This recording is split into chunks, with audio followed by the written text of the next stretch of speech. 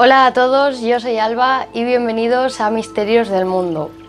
Bueno, muchos sabéis que he estado unos días fuera y que he aprovechado y hecho grabaciones para traeros vídeos al canal.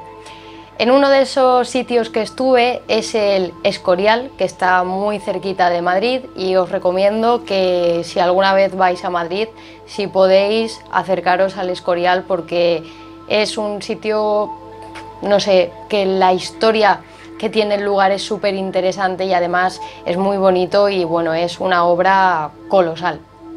Pues bien, eh, las grabaciones que he hecho de los interiores no son que digamos súper buenas porque he tenido que grabar de Strangis porque bueno, estaba completamente prohibido hacer fotos y, grabar vídeos, pero bueno, en algunos sitios pude grabar un poco. Pues bien, eh, antes de hablaros de las leyendas que existen en este lugar, os voy a contar así eh, un poco resumida la historia de este lugar. Veréis, el monasterio de San Lorenzo del Escorial es un complejo que tiene un palacio real, una basílica, un panteón, una biblioteca, un colegio y un monasterio. Lo encontramos en la localidad española de San Lorenzo del Escorial y fue construido entre 1563 y 1584.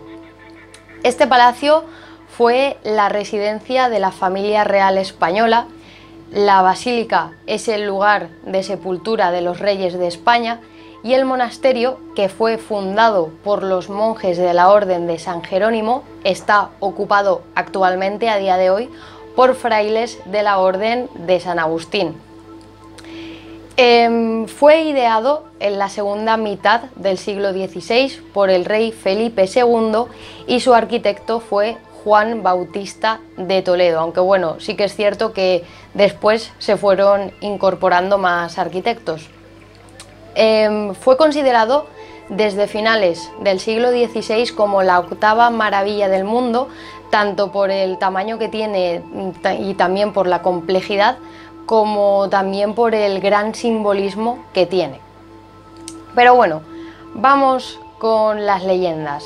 Veréis, eh, la leyenda de la puerta, bueno, las puertas, mejor dicho, del infierno, yo creo que es la leyenda más famosa y es la que dice que el Escorial se construyó precisamente en ese lugar porque se pensaba que allí estaban las puertas al infierno y con él encima, es decir, con el Escorial encima de esas puertas, se podrían tapar. Y el origen de esta creencia o leyenda es bastante difuso. Por un lado, se piensa que es porque allí había una mina con unas grandes galerías, pero por otra parte se alude a una gran tormenta que ocurrió el día en el que los técnicos del rey fueron a inspeccionar los lugares para decidir dónde iba a ser el emplazamiento y entonces cayeron relámpagos y rayos y esta fue la causa por la que decidieron construir precisamente en ese lugar.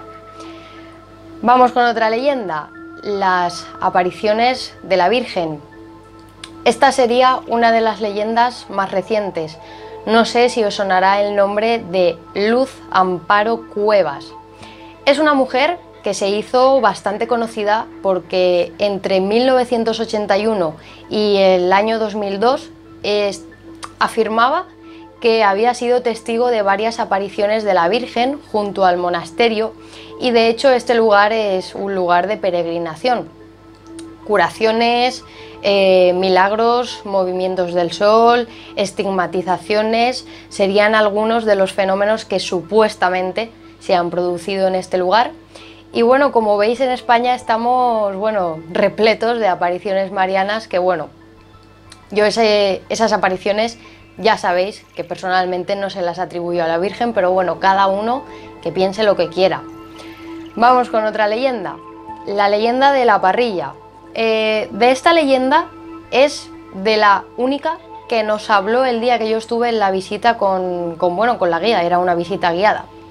Veréis, dicen que la planta del monasterio está inspirada en una parrilla y haría alusión a la muerte que tuvo San Lorenzo, que fue quemado en una parrilla. Y bueno, la guía nos dijo que esto sí que es cierto y que sería como una, eh, una parrilla perdón, invertida y que bueno, que es algo, según ella, que no se puede negar. Pues bien, vamos con otra leyenda, con la leyenda del perro negro. Cuenta la leyenda que una vez, cuando ya se habían empezado las obras, un perro negro se iba paseando por ahí por las noches y con sus ladridos e interrumpía las obras. El rey Felipe II decidió que lo cazaran y una vez ya muerto, lo colgaron en una de las torres donde estuvo colgado durante mucho tiempo. Y bueno, se pensaban que podía ser ese perro un enviado del infierno, ya que allí se supone que había una de las puertas donde se podía acceder a, él y años más tarde cuando el rey ya se retiró para morir, afirmó, él contaba, que seguía escuchando los ladridos de ese perro.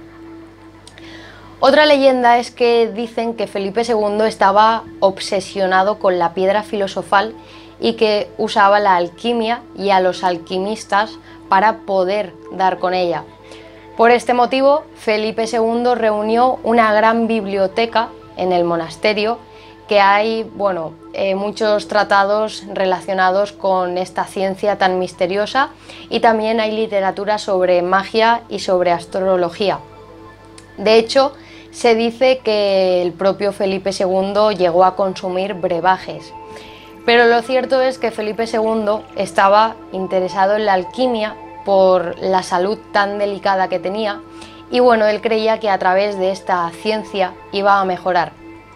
Eh, la biblioteca es muy chula y de hecho hay libros que, bueno, se pueden consultar, podéis ir y queréis ver tal libro, os lo van a sacar y lo podéis ver. Lo único es que están en castellano antiguo y que realmente no son los originales, son facsímiles. Pero bueno, ya sabéis, si algún día os interesa ir a ver los libros que hay allí, os los van a sacar.